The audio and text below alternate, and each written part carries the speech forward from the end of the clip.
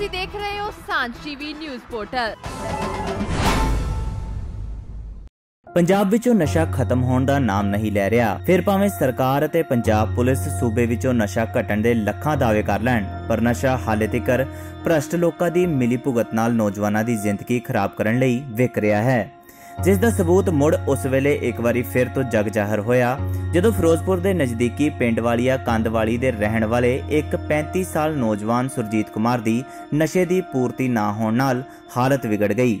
ਜਿਸ ਨੂੰ ਫਿਰੋਜ਼ਪੁਰ ਦੇ ਸਿਵਲ ਹਸਪਤਾਲ ਵਿਖੇ ਭਰਤੀ ਕਰਵਾਇਆ ਗਿਆ, ਜਿੱਥੇ ਉਸ ਦੀ ਮੌਤ ਹੋ ਗਈ। ਉਧਰ ਮ੍ਰਿਤਕ ਦੇ ਰਿਸ਼ਤੇਦਾਰ ਨੇ ਸੁਰਜੀਤ ਕੁਮਾਰ ਦੀ ਨਸ਼ੇ ਦੇ ਚੱਲਦਿਆਂ ਮੌਤ ਹੋ ਜਾਣ ਤੋਂ ਬਾਅਦ ਪੱਤਰਕਾਰਾਂ ਨਾਲ ਗੱਲਬਾਤ ਕਰਦਿਆਂ ਹੋਇਆ ਕਿਹਾ ਕਿ ਲੋਕਾਂ ਨੇ ਕੈਪਟਨ ਸਰਕਾਰ ਦੇ ਆਉਣ ਤੇ ਇਹ ਸੋਚਿਆ ਸੀ ਕਿ ਨਸ਼ਾ ਬੰਦ ਹੋ ਜਾਵੇਗਾ, ਲੇਕਿਨ ਨਸ਼ਾ ਹਾਲੇ ਤੱਕ ਬੰਦ ਨਹੀਂ ਹੋਇਆ।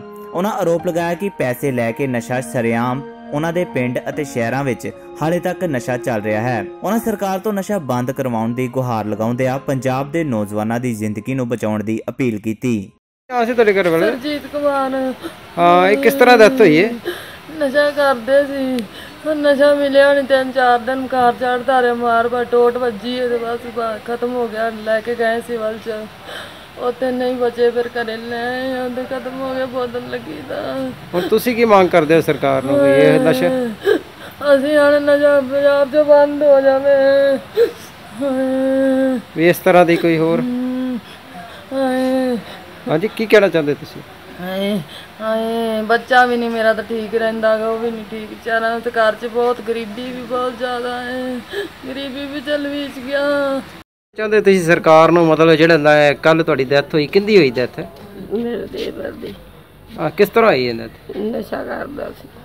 ਅੱਛਾ ਹੁਣ ਤੁਸੀਂ ਕੀ ਕਹਿਣਾ ਚਾਹੁੰਦੇ ਹੋ ਸਰਕਾਰ ਨੂੰ? ਨਸ਼ਾ ਸਰਕਾਰ ਨਿੱਕੇ ਨਿੱਕੇ ਬੱਚਿਆਂ ਦੀ ਬਰਬਾਦੀ ਦੀ ਮਾਂ ਮਾਂ ਪੁੱਤ ਕਿੱਥੋਂ ਸੰਭਾਲੇ ਨਹੀਂ ਜਾਂਦੇ ਨਾ ਪੈਸਾ ਕੋਈ ਨਹੀਂ ਲੱਭਦਾ। ਕਿੱਥੇ ਦੁਨੀਆ ਇੰਨੀ ਬਰਬਾਦ ਹੋਈ ਜਾਂਦੀ ਹੈ ਨਸ਼ਾ ਕਰ ਕਰਕੇ ਨਸ਼ੇ ਤੋਂ ਛੁਟਕਾਰਾ ਕੀਤਾ ਜਾਵੇ। ਨੰਬਰਦਾਰ? ਹਾਂਜੀ। ਹਾਂ ਤੁਸੀਂ ਕੀ ਕਹਿਣਾ ਚਾਹੁੰਦੇ ਹੋ?